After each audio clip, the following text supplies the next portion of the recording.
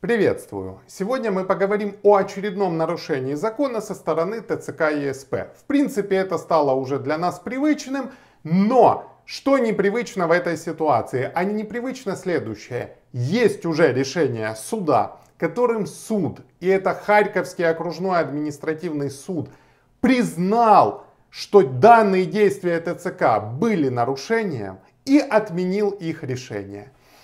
Чему учит эта ситуация? Как в нее не попасть? Об этом мы сейчас и поговорим.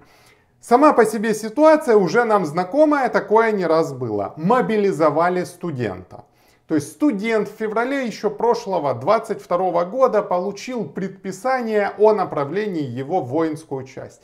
И что он сделал? Он пошел в воинскую часть.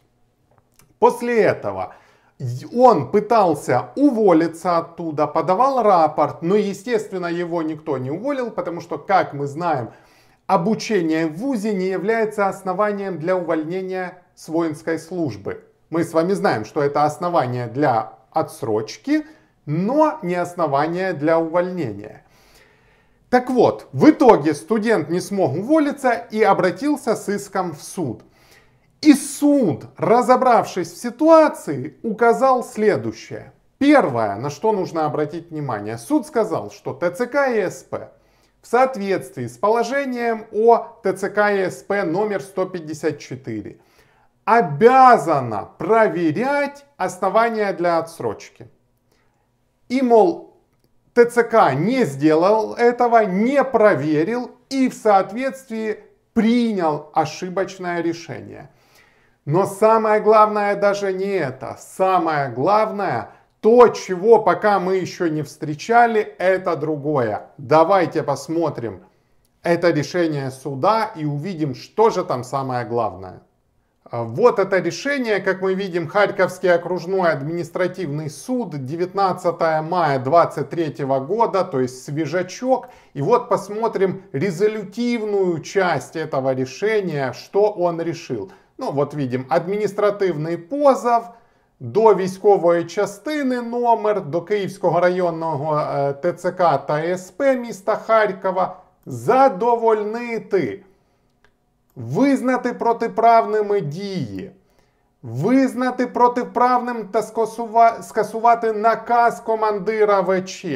І головне, ось що головне, зобов'язати військову частину номер 1 в особі уповноважених осіб негайно звільнити особа 1 з військової служби особового складу Збройних сил. Оце головне зобов'язати негайно звільнити особи з військової служби.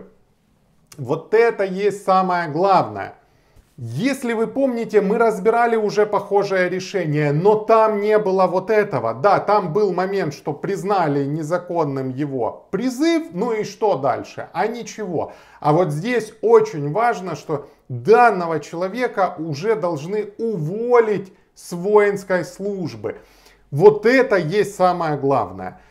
Вторая часть, да, как не попасть в подобную ситуацию, чему же учит нас это решение суда.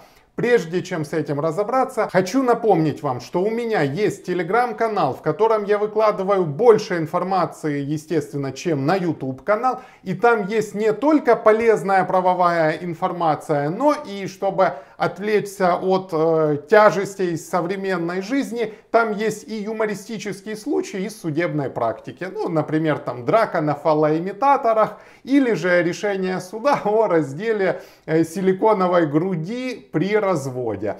Приглашаю вас в телеграм-канал, ссылочка есть в описании к этому видео.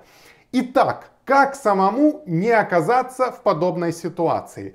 Да, ситуация, можно сказать, хорошая. Да, мы аплодируем стоя э, тем судьям, тому судье, который принял соответствующее решение, который стал на сторону человека, который не списал на то, что, мол, сейчас спасать страну надо, тяжелая политическая ситуация и прочее, а который стал на сторону закона, верховенства права и человека. Но, что здесь но? Человек год был в ЗСУ. А вы понимаете, что такое год быть на войне?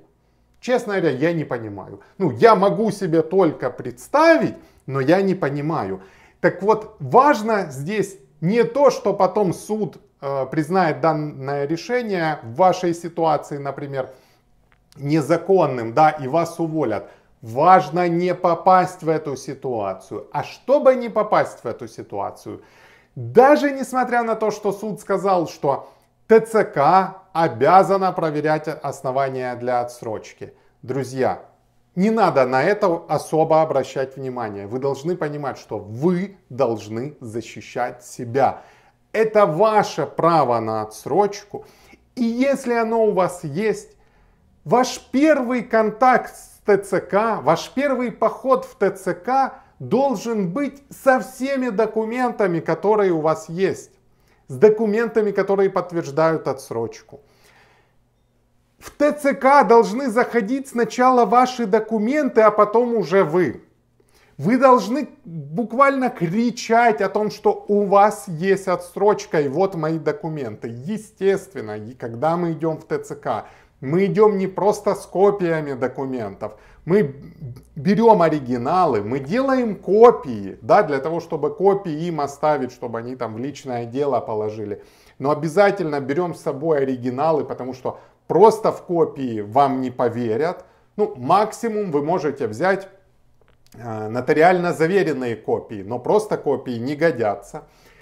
И кричим о том, что у вас есть отсрочка. Но вы можете сказать, стоп, ну и что? Ну я принес им документы, они сказали нам плевать на твои документы, мы тебя все равно призываем. Да, такое может быть. Да, мы сталкивались с такими ситуациями, что человек принес документы, подтверждающие его право на отсрочку, а он получает взамен что? Повестку на отправку. Есть такие ситуации, у меня были неоднократно. Что делать в этой ситуации? Два варианта. Вариант первый. Вы либо отказываетесь принимать повестку на отправку, ссылаясь на то, что вы хотите воспользоваться своим правом на отсрочку. И второй момент, второй вариант, если вы уже приняли, вы не являетесь по этой повестке. Конечно, что вы скажете? Стоп, так меня же могут к уголовной ответственности привлечь. Нет, не могут. Да, скорее всего, если вы откажетесь брать повестку, либо же возьмете повестку, но не явитесь по ней, ТЦК и СП может сообщить об этом в полицию. Но что будет дальше? Дальше приедет к вам полиция или позвонит, вы к ним приедете. Вы им предоставите все документы, подтверждающие ваше право на отсрочку. Ну и все.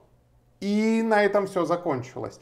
Нельзя привлекать к уголовной ответственности человека, который имеет право на отсрочку от мобилизации. То есть не может уклониться от мобилизации тот, кто по закону не призывной, кому закон дал отсрочку. Ведь у нас есть статья 23 закона Украины о мобилизационной подготовке и мобилизации. И там указано, у кого есть отсрочка. И неважно, оформили вы ее уже, ну там до того, да, как вас призывают, не оформили. Главная ваша задача предоставить документы в ТЦК и СП в оригиналах, либо в нотариально заверенных копиях. И второй момент. Если вас уже призывают, несмотря на эти документы, отказывайтесь от призыва. Вас не могут привлечь за уклонение от мобилизации и посадить за это, да, тем более, если у вас есть право на отсрочку. Друзья, не бойтесь, защищайте свои права. И я надеюсь, все у вас будет хорошо. Напомню, что с вами был Олег Лукьянчиков, адвокат, кандидат юридических наук. Желаю вам удачи, благополучия и, конечно же, мира. Пока-пока.